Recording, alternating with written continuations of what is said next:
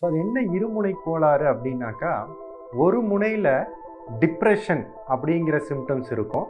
மற்றொரு முனையில் மேனியா அப்படிங்கிறதுடைய சிம்டம்ஸ் இருக்கும். ஸோ டிப்ரெஷனுடைய சிம்டம்ஸ் என்னென்னலாம் இருக்கலாம் அப்படின்னாக்கா அவங்களுக்கு ஒரு தீராத மனக்கவலை இருக்கலாம் உடம்பு ரொம்ப சோர்வாக இருக்கலாம் அதுக்கப்புறம் அவங்களுக்கு எந்த விஷயத்துலையுமே ஒரு இன்ட்ரெஸ்ட் இல்லாமல் இருக்கலாம். இன்னொரு பக்கம் இந்த சைடில் டிப்ரெஷனில் எங்கே வந்து எனர்ஜி எல்லாம் ரொம்ப கம்மியாக இருக்கும் அப்படின்னு பார்த்தா இவங்களுக்கு எனர்ஜி ரொம்ப ஜாஸ்தியாக இருக்குங்க.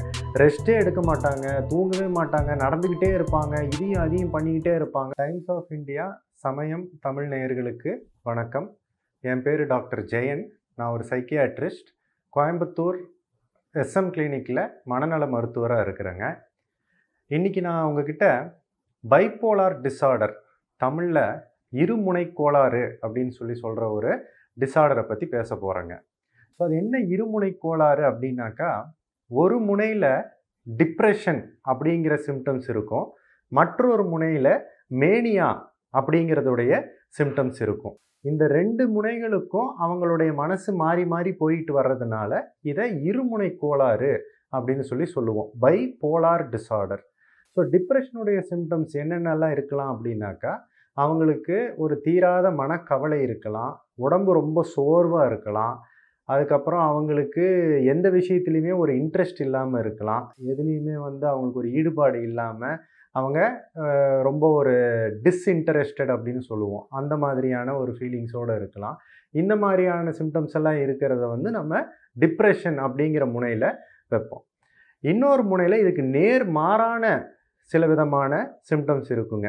எங்கே இப்படி வந்து ரொம்ப சோகமாக இருப்பாங்களோ இதில் அதிகப்படியான சந்தோஷம் அதாவது நார்மலாக இருக்கிற சந்தோஷத்தை விட மிகவும் அதிகமான சந்தோஷம் ஒரு காரணமே இல்லாமல் மிக மிக மிக சந்தோஷமாக இருக்கிறது இல்லை ரொம்ப கோவப்படுறது அளவுக்கு அதிகமான கோவம் சிவியர் இரிட்டபிலிட்டி அப்படின்னு சொல்லுவோம் அது மாதிரி இருக்கிறது இன்னொரு பக்கம் இந்த சைடில் டிப்ரெஷனில் எங்கே வந்து எனர்ஜி எல்லாம் ரொம்ப கம்மியாக இருக்கும் அப்படின்னு பார்த்தா இவங்களுக்கு எனர்ஜி ரொம்ப ஜாஸ்தியாக இருக்குங்க.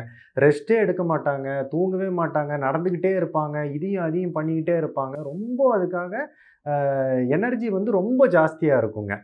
அதே மாதிரி டிப்ரெஷனில் இருக்கிறவங்களுடைய பேச்சு இதெல்லாம் கொஞ்சம் குறைஞ்சிருக்கும். இவங்களுக்கு பார்த்தீங்கன்னாக்கா ரொம்ப ஃபாஸ்ட்டாக பேசுவாங்க நிறையா பேசுவாங்க. அதாவது இந்த முனையில் வரும்போது. ஸோ இவங்களுக்கு டிப்ரெஷனும் கொஞ்ச நாள்களுக்கு இருக்கும். அதுக்கப்புறம் கொஞ்ச நாள் நல்லா இருக்கிற மாதிரி இருக்கும். திடீர்னு பார்த்தீங்கன்னாக்கா மேனியாவுக்கு அவங்களுடைய கண்டிஷன் போயிருங்க. ஸோ இந்த ரெண்டு முனைகளுக்கும் மாறி மாறி வர்றதுனால இதை வந்து பைப்போலார் டிஸார்டர் அப்படின்னு நம்ம சொல்லுவோம். இது எதனால் ஏற்படுது அப்படின்னு பார்த்தீங்கன்னாக்கா இதுக்கு ஜெனட்டிக்கலாகவும் நிறையா இது இருக்குதுங்க. மரபணு ரீதியாக நம்ம சொல்கிறது படி ஃபேமிலியில் வேற யாருக்காவதெல்லாம் இந்த மாதிரிலாம் இருந்துச்சுன்னா இவங்களுக்கு ஹை ரிஸ்க் இருக்குதுங்க.